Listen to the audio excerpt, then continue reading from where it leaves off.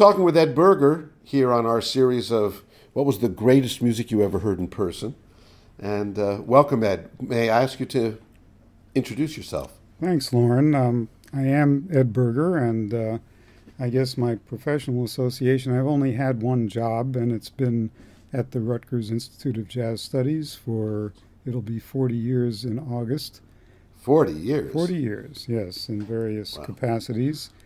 And um, also, I've done some writing on the side, uh, biographies, most recently of uh, trumpeter Joe Wilder, and before that, uh, bassist George Duvivier.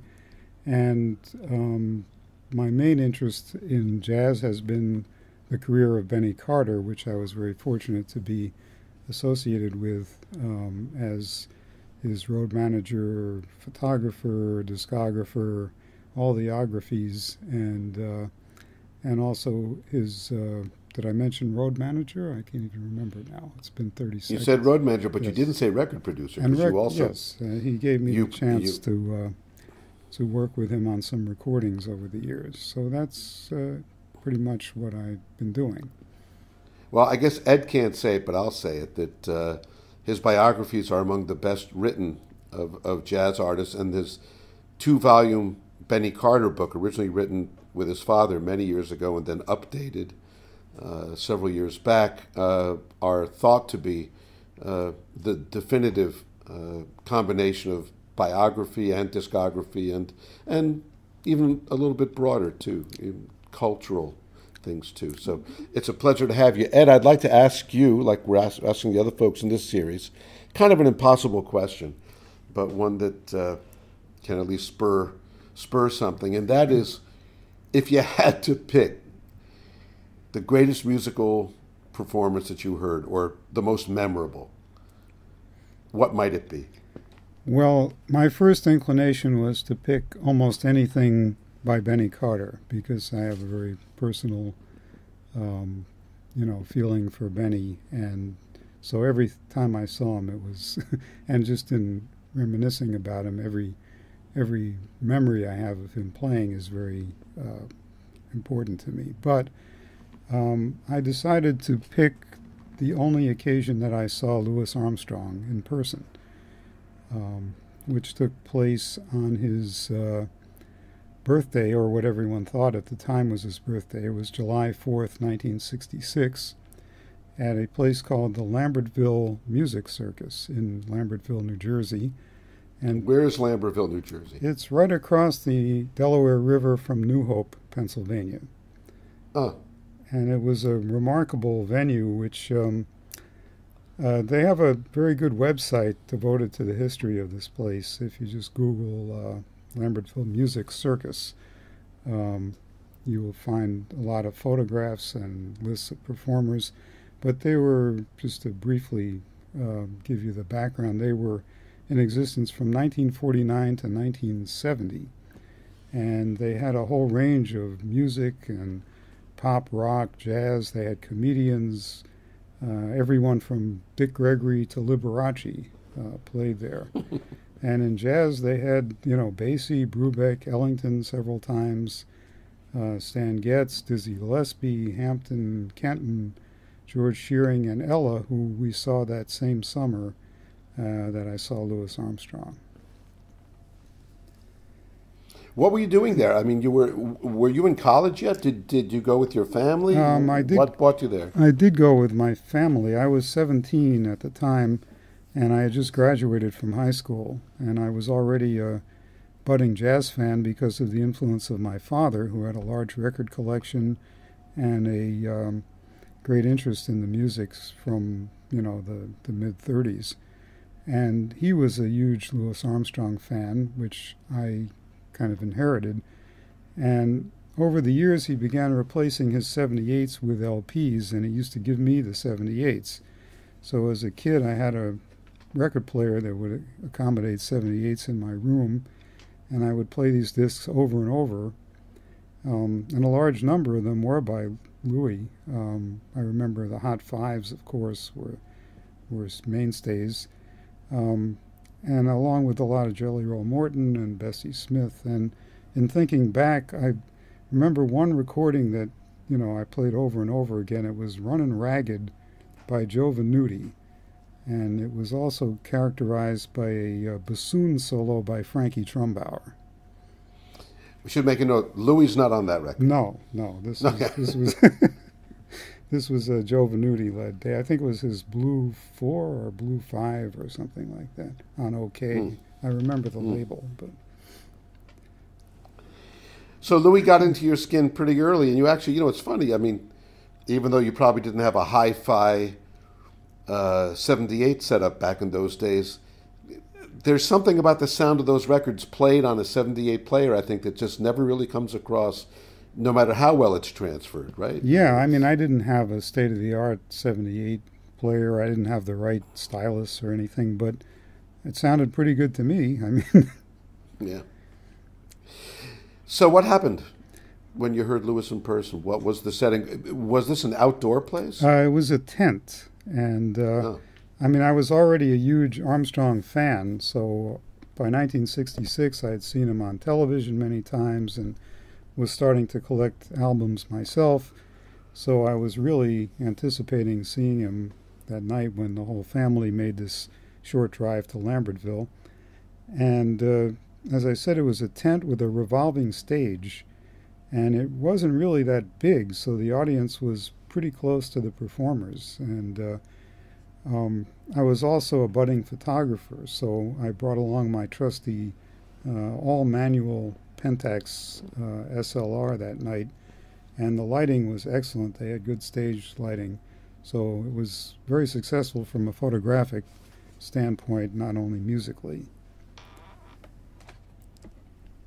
And um, I should mention that the band was Louis All Stars of the time, which were Buster Bailey, Tyree Glenn, Marty Napoleon, uh, Danny Barcelona, and I think it was Buddy Catlett on bass, although I didn't get any photos of him, so I honestly don't remember, but I'm pretty sure it must have been him.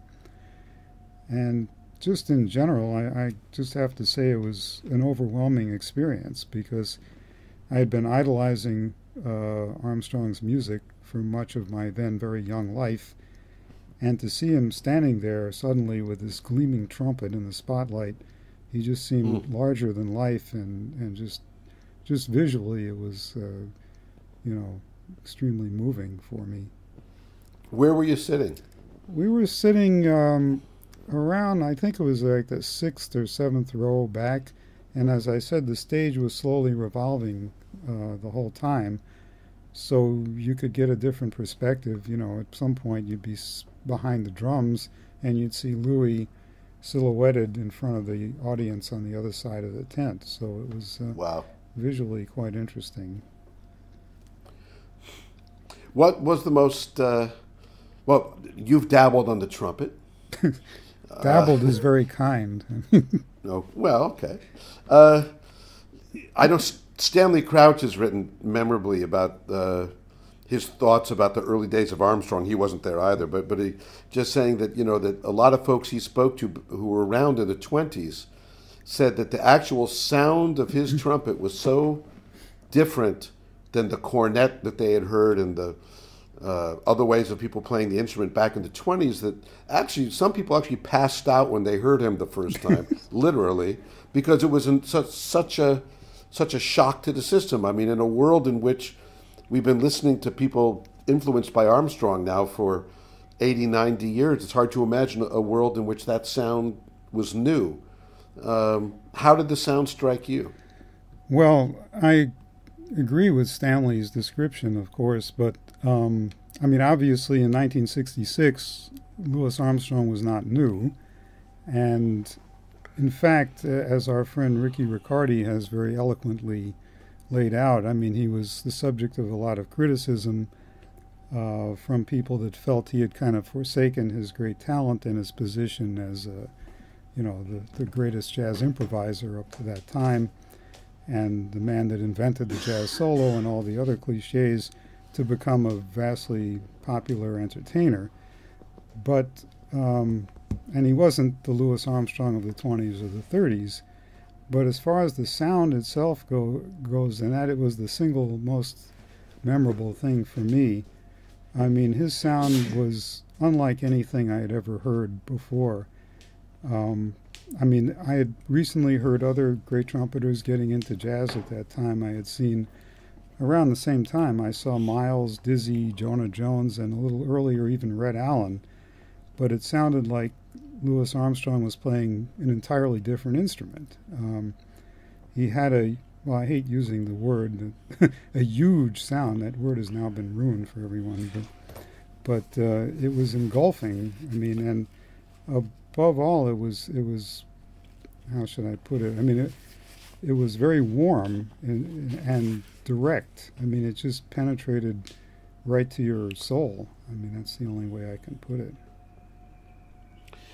What was the show like? Was it? Uh, I I know in the earlier years, you know, there was a lot of comedy and, and dancing and cavorting around and really entertainment. I mean, kind of the opposite of Miles Davis in one way. Uh, what what are your memories about the show and the other musicians and their contributions? Um, to be honest, I don't remember specifically what they were playing um, because I was just so overwhelmed by the the whole um, event itself. But um, they were doing a lot of features for the members of the band. I mean, it was probably the regular repertoire of the time. Um, but you know, a lot of the critics would say, uh, you know, they played the same thing every night. Well, I mean, I wasn't seeing them every night. This was my first and unfortunately my last night to see them. And the way they brought put the program over, whether they were repeating it or not, and they certainly must have been repeating it, the enjoyment and enthusiasm that they displayed uh, was just contagious. And uh, so it didn't matter to me whether they played the same damn thing every night or not. Um, and the other thing about, I mean, there was a lot of joking around, which I liked at the time, you know, and, and the audience liked it. Um, but when Louis put that horn to his lips, all of that stopped. I mean, he was dead serious and deep in concentration, and nobody could say this was not a serious artist, you know, when he was playing the trumpet, at the, even that late. Yeah. Uh, it's amazing. I was, I was just thinking about, you know, you're hearing your dad gave you the 78, you're hearing Armstrong back in the 20s. Back in the 20s was when Louis was just starting. In fact, uh, the man who was known as the king of jazz was Paul Whiteman. Yes. well, that, of course, brings up a side story to this whole thing. Because since it was uh, Louis, I guess you'd call it his putative birthday, I guess later it was discovered it wasn't his exact birthday. But at intermission, they wheeled out a gigantic cake, and this very jovial, kind of heavy-set guy with a fedora came out and uh, serenaded Louis with uh, playing Happy Birthday on his violin. And that turned out to be Paul Whiteman, uh, who lived in that area around New Hope, Lambertville. And um, I mean, I, I knew the name, I didn't really know that much about him, but in light of what you know, how much was written in later years about Paul Whiteman having, I guess you'd say, appropriated the title that people felt rightfully belonged to Armstrong. It was uh, something of an amusing revelation to see them embracing on stage some four decades later the two kings of jazz, I guess you would say. but um, well, yeah, I mean, you know, to his credit, I mean, Whiteman did a, had a great band, did a lot of great music, and featured a lot of jazz at a very important time. He premiered Rhapsody in Blue, and uh, yeah, I mean, I think a lot of that negative stuff is kind of like historical hindsight and really has nothing to do with him. yeah, I was going to say, I'm sure he didn't claim it for himself. But, um, but you could see there was great mutual affection between the two of them. You know, that they uh, it wasn't just going through the motions. They looked they looked like they really were enjoying each other's company. And I should say something about the other band members. Um, I mean, they just you know conveyed such a joy of being there. Now, whether it was all put on or not, I can't believe that they were that good at acting. That you know, but they really seemed to enjoy playing, enjoy playing with Louis, and um, I think one of the ones that made a big um, impression on me was Tyree Glenn. He was a natural showman and a great musician, and the way he and Louis uh, interacted was was magical.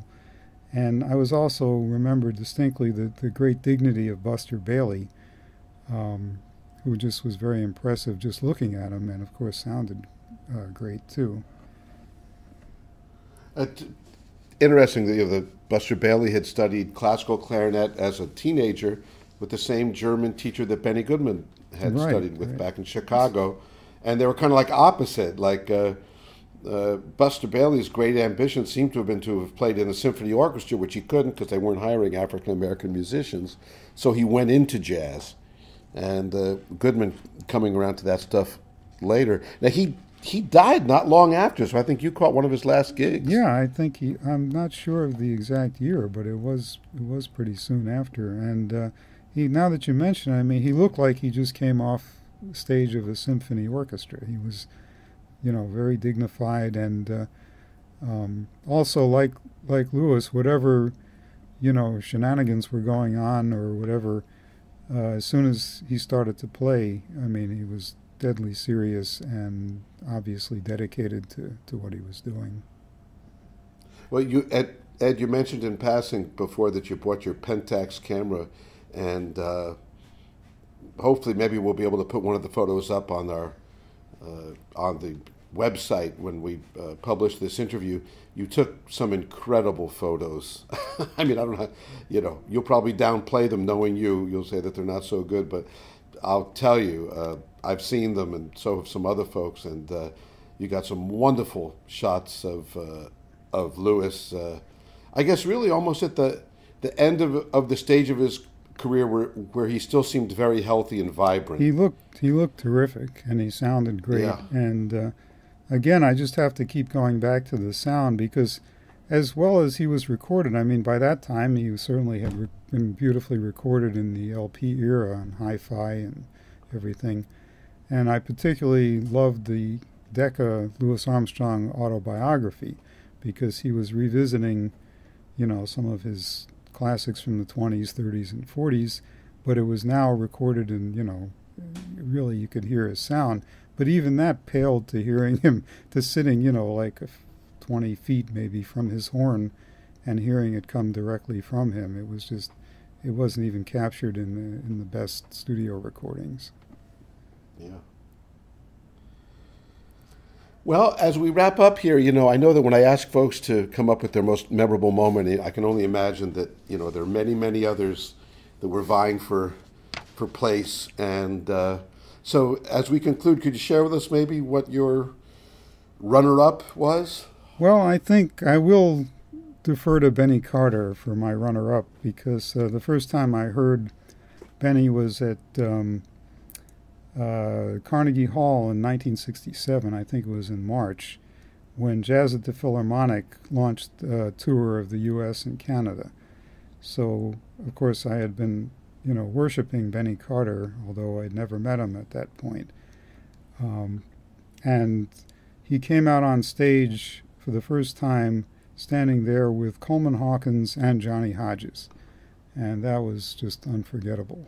I mean, it was um, just to see them standing together. Um, I was not that close as I was in uh, in the music circus, but even so, it was. And I did I did sneak one picture in there, although it's not a very good one. But at least you can see the three of them together. And uh, uh, Carnegie Hall was a little more stringent about photography than uh, the Lambertville Music Circus was. All right, Ed. Thanks a million. That was great. Thank you, Loren.